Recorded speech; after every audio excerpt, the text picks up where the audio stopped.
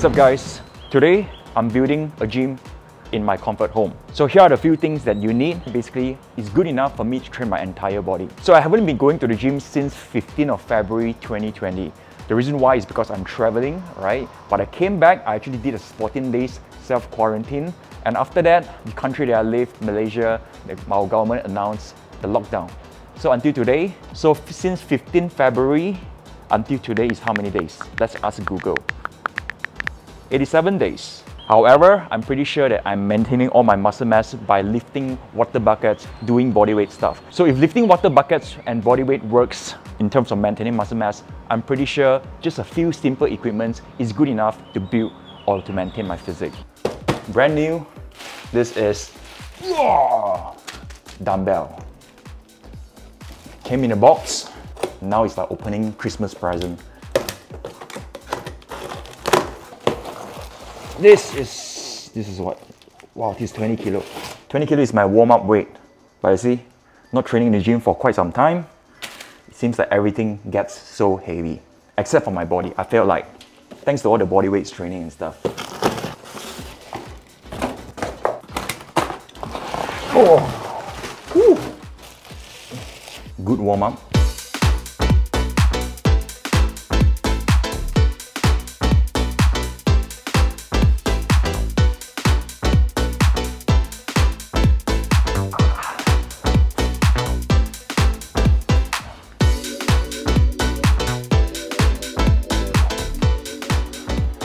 So the most important equipment you should invest if you want to build your body at home is dumbbell.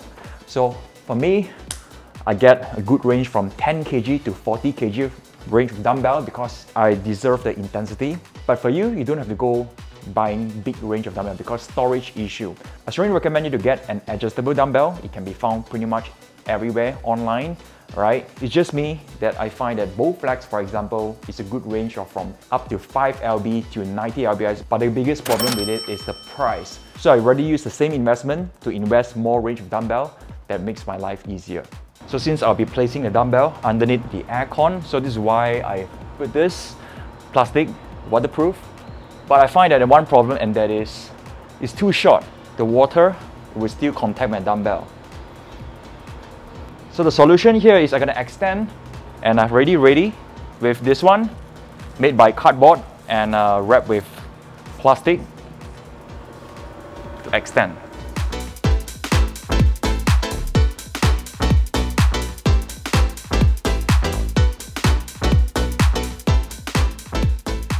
Done. My house don't have string so I have to use tape temporarily right? I'll figure a better way of course because there's wind, there's rain, sun, right? But that's how I do it for now.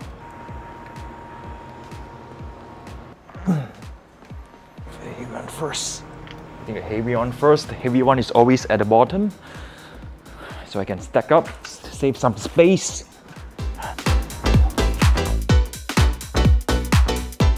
So here's 35 kg, 25 kg, and if you're wondering where is 30 kg, 30 kg and 40 kg is on the way in a container, will be arriving in next week, right? So 30 kg will be here, right? Uh, everything will be moved again.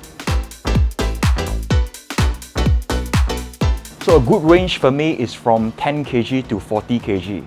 So I've ordered every 5 kg increment. However, only 10 to 15 in between, I've added 12.5. It's because this range is mostly for small muscles like bicep curl, triceps, uh, kickback, skull crusher. So um, adding 2.5 kg for a lower range is very important in my opinion, right? You want to warm up as well, right? For the rest, 20 kg and above is okay for me to jump 5 kg up to 40 kg as I'll use it for bench press, row,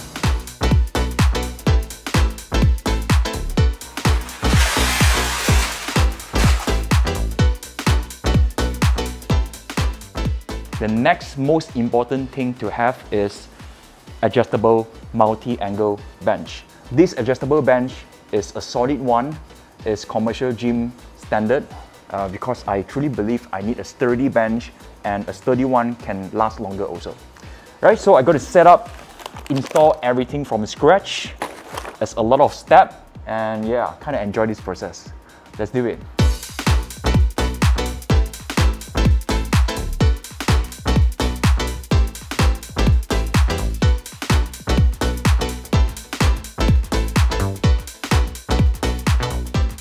So, gotta get started. Reading from the manual, this really scares me. Take a look at this. It looks complicated sometimes, but it's not that hard, I believe, right? The only thing that I need is this, spanner.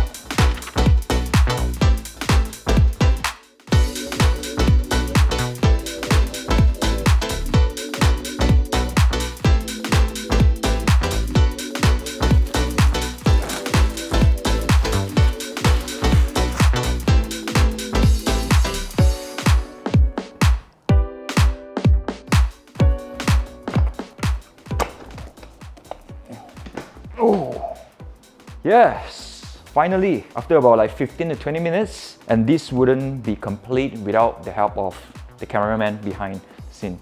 This is very sturdy. It's about 45 kg.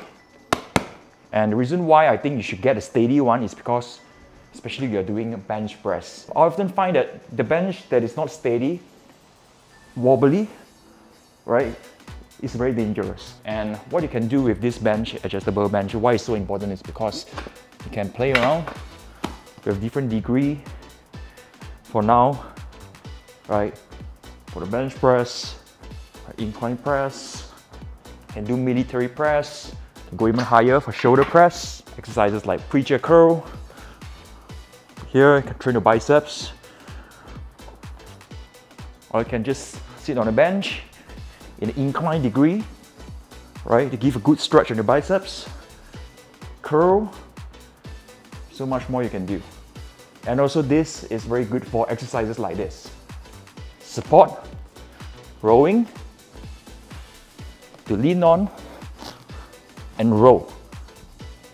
Right, definitely the bench, this bench will work because it's heavy, it's sturdy enough. If it's lighter one, especially if you're rowing heavier, the bench will, will just go forward, right? So this is very heavy.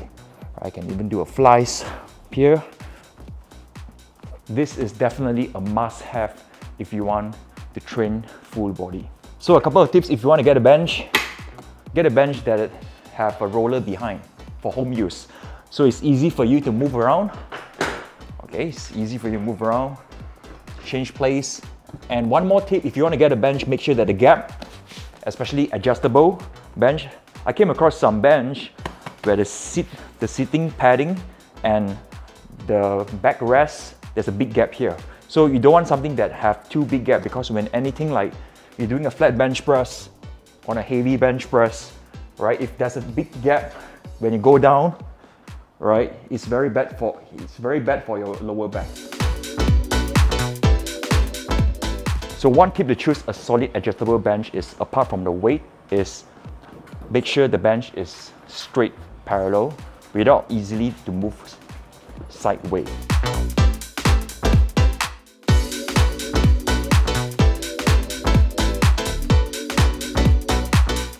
Last of all, pull-up bar. One of the most important tools to have to train your back and not just back, conditioning, cardio, so much more. So having a guy here installing this because they are pretty solid and requires drill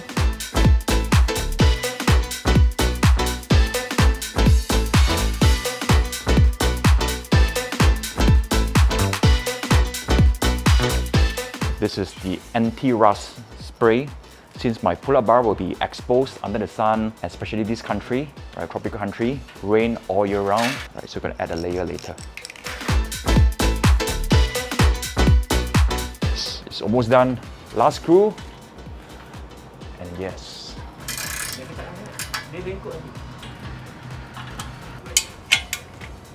Finally, oh, solid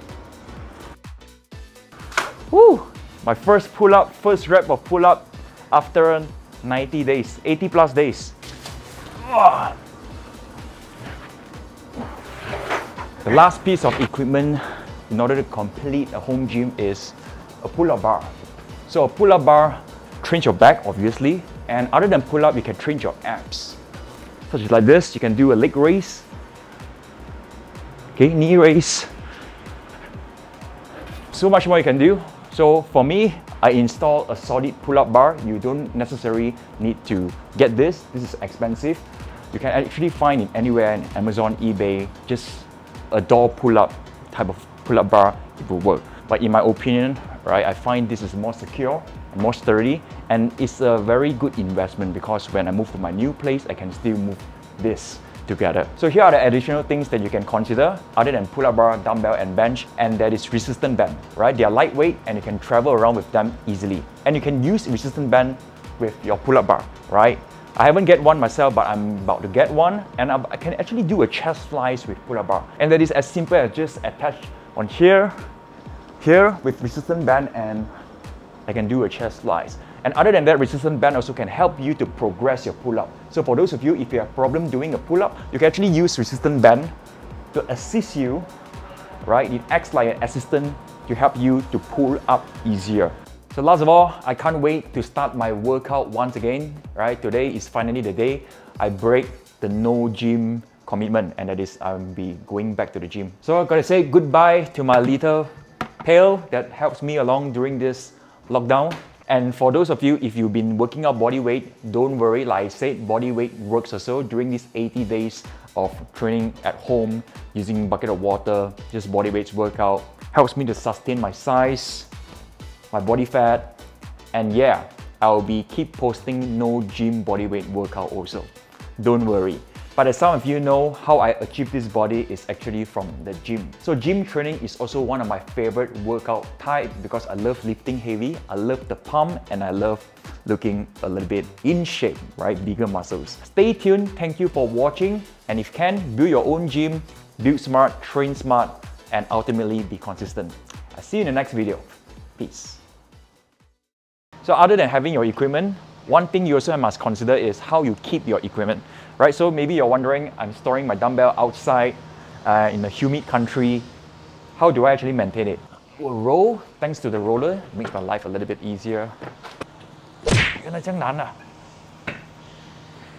Okay, so push all the way back, push them all the way back in here. And I have my rain cover